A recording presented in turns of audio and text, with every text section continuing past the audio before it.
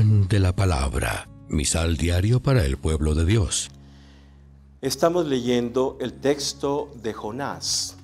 Es el profeta que no fue a Nínive, no quería ir a Nínive, y el Señor lo forzó a ir a Nínive. El profeta que se devoró el pez y que después lo devolvió y que fue después a Nínive. Como el profeta no quería ir, él esperaba resultados adversos, es decir, que los ninivitas no se iban a convertir, que la predicación que él iba a hacer iba a ser un fracaso. Pero resulta que los ninivitas sí se convirtieron. Y entonces viene el enojo del profeta. Y luego hay la figurita de la plantita esa que le dio la sombra, etc. Que hay que subrayar aquí.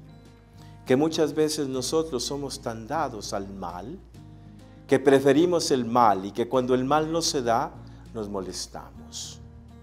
¿Cuántas personas desean el mal a otras? Y como las cosas no acontecen como las pensaban, entonces, dicen, se disgustan contra Dios. Dios es injusto. ¿Cómo es posible que este pecador, que esta persona le vaya bien?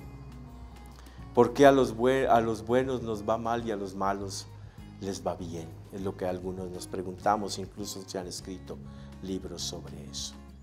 Es que la obra de Dios en el hombre no se puede manipular por los criterios humanos. Dios siempre nos muestra un horizonte diverso. Por su parte, en el texto del Evangelio Jesús nos enseña a orar, orar en secreto, ponernos en sintonía con Dios, poner nuestra relación con Dios por encima de todo el ruido de la sociedad y el ruido humano. Esto es muy importante. Orar no es fácil, pero no es imposible.